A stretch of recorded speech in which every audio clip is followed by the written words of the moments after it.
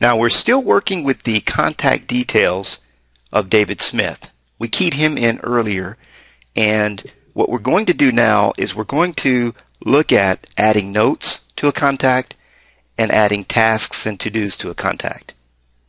So I want to add a note to the David Smith contact. I'm going to click Notes right here in this little tab there. Then I'm going to click this button that says Add a new note.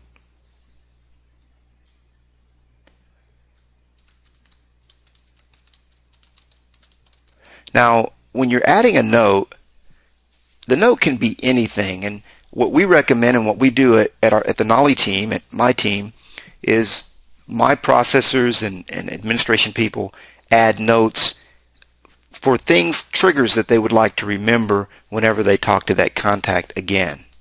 So if the contact says his mom is ill, any any kind of details that are pertinent. Perhaps it's a buyer who doesn't like to view homes with dogs. I mean, there's all kinds of information that you can put, and you can keep adding these notes as um, as you get them. Um, so I just added that new note. Let me show you another place to add a note for David. Back to the contact details page. I can get, simply go down to notes and you see that I can expand that and see the notes that had been added and I can add a new note here. Okay, and that takes me right to the add note uh, feature.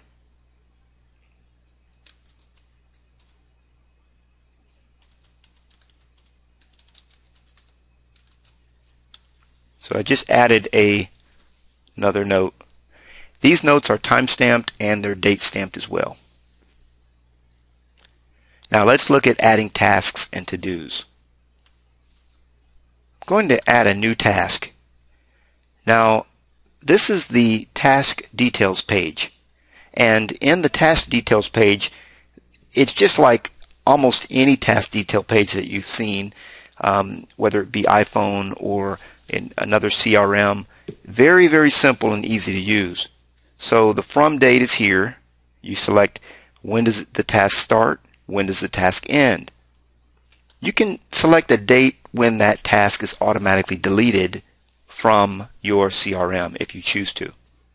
So right now we're going to say we've got a task that has to occur on June 20th. I want to assign that task to Carolyn so that when Carolyn logs in, she will see that she has a task that needs to be done. And the task title, I can uh, pull, do a pull down. By the way, you can edit, you can have editable task titles as many as you choose. We'll see more of this in action plans. I'll show you more about that in action plans. Action plans is actually a different feature, but there are so many different types of tasks that you can save. For example, pickup sign and lockbox. Okay, so that that now has become a task that um, that we've we've added.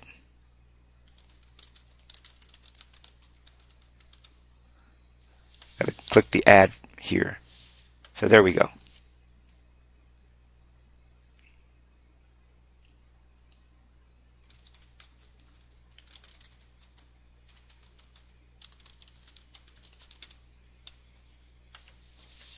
So you can simply type in here, click the add, and you can add additional tasks that will uh, be part of your what we call your saved list of tasks. So now if I were to pull this down, I would be able to see, I would just be able to click there and change those. Or you can just simply key it in.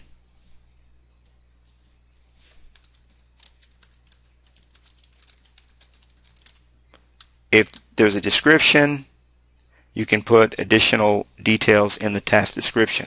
And the task description may help you remember some uh, additional details that you may be apt to forget.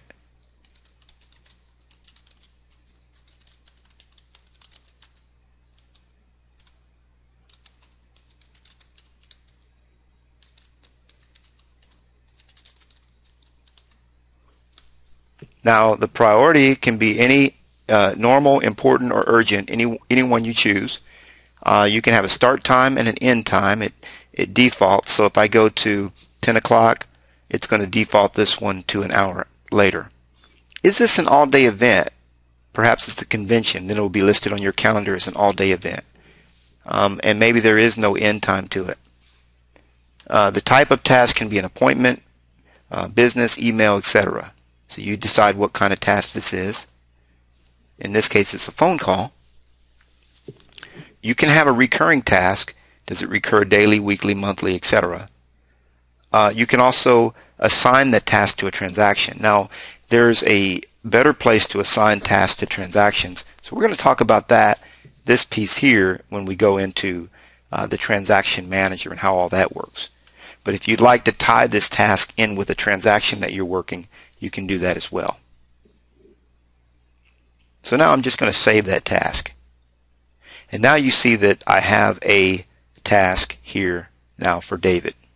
So if I go back to the contact details record, when I go down to the bottom of the page, it shows me uh, tasks. I've just got to open that up, and it'll show me any tasks that are currently um, upcoming for that individual. So that's adding tasks and to-dos Uh, and notes to a contact.